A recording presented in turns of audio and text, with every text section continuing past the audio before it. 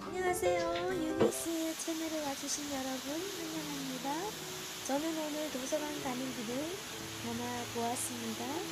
이렇게 도서관 가는 길에는 폭포도 있고요. 또 자연의 소리들도 있고 물소리가 정다운 예쁜 길입니다. 이 길을 오갈 때마다 계절의 변화를 느끼곤 하지요. 비록 인공으로 만들어진 폭포들이지만 굉장히 좋습니다.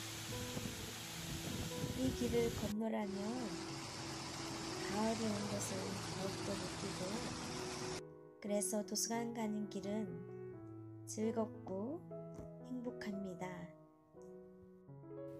50대 후반에 영어를 도전하는 제 삶의 시간을 나누려고 합니다. 해바라기를 좋아하는 꿀벌인가 봐요. 먼저 영어 성경을 읽고요. 공부를 시작합니다.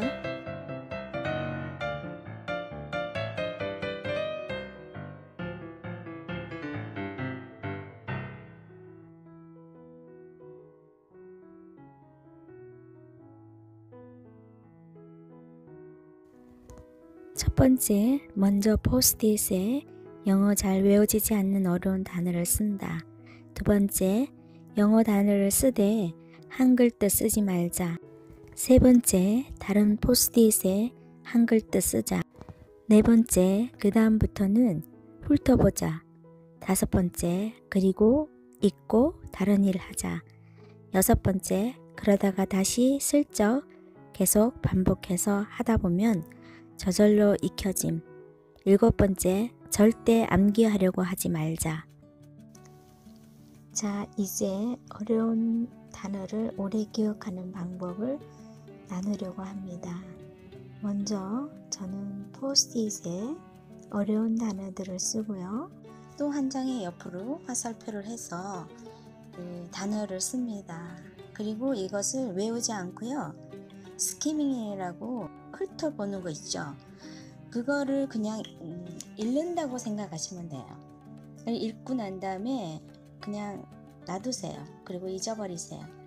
그리고 또 시간이 지나서 또 한번 훑어보는 거예요.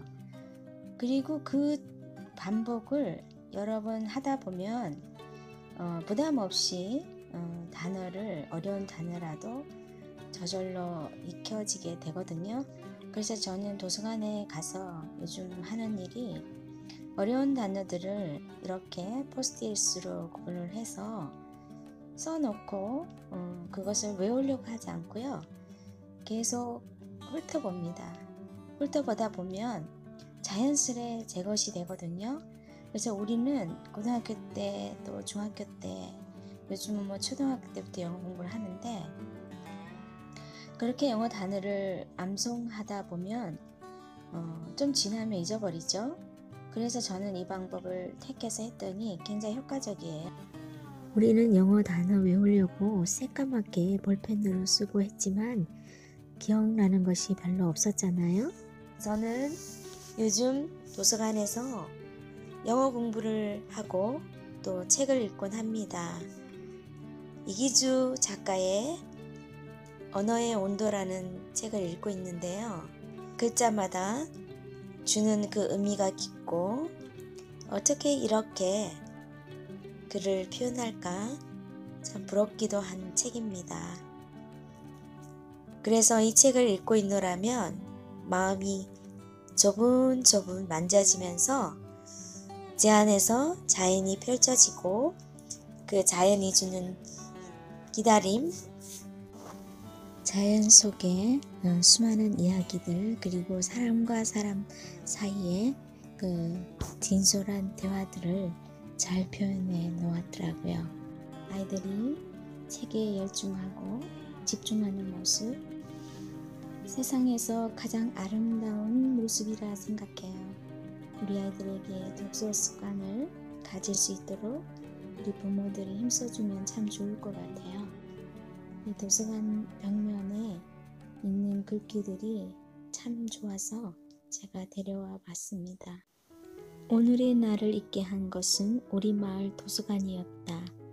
하버드 졸업장보다 소중한 것은 독서하는 습관이었다고 빌 게이츠가 말했네요. 그렇죠? 독서하는 습관은 너무나 소중한 것 같아요. 기죽지 말고 살아봐, 꽃 피워봐, 참 좋아. 이 글도 좋네요. 자세히 보아야 예쁘다, 오래 보아야 사랑스럽다, 너도 그렇다. 이름을 알고 나면 이웃이 되고, 색깔을 알고 나면 친구가 되고, 모양까지 알고 나면 연인이 된다. 아, 이것은 비밀.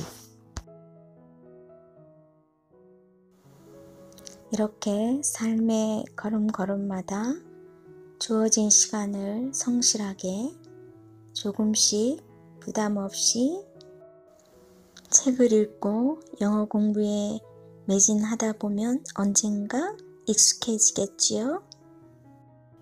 여러분, 저의 도전에 함께 동참하시지 않으실래요? 비록 이렇게 노을이 지는 하늘처럼 인생의 후반기에 항온을 맞고 있지만 그럼에도 불구하고 저는 최선을 다하며 살기를 원합니다. 다시 정리하면요. 영어가 어렵고 또 어려운 단어가 나왔을 때 그것을 기억하기가 쉽지 않거든요. 그런 단어들은 포스트잇에 붙여놓고 그냥 집안에서 왔다 갔다 하면서 훑어보시면 그것이 언젠가 나의 단어, 내가 익히는 단어가 되고 기억되는 단어가 되어 있다는 것을 발견하실 것입니다. 우리가 한국말을 반복해서 듣고 듣고 듣고 해서 익혔던 단어들처럼 영어도 암기하려고 하면은 더 힘들고 스트레스 받게 되죠. 그러니까 이제는 암기하려고 하지 말고요. 그냥 왔다 갔다 하면서 쳐다보는 것, 그것을 소리내어 반복해서 읽는 것, 그러다 보면 언젠가 나에게 아주 익숙한 단어가 될 것입니다. 하루의 시간이 지나고 이제 해질녘이 되었네요. 이 해질녘 속을 인생의 시간을 돌아보게 되지요. 바삐 달려온 인생의 시간들을 생각하며 성실하게 앞으로 보내고 싶네요. 아, 여러분 감사합니다. 도움 되셨다면 구독과 좋아요, 알람 부탁드릴게요.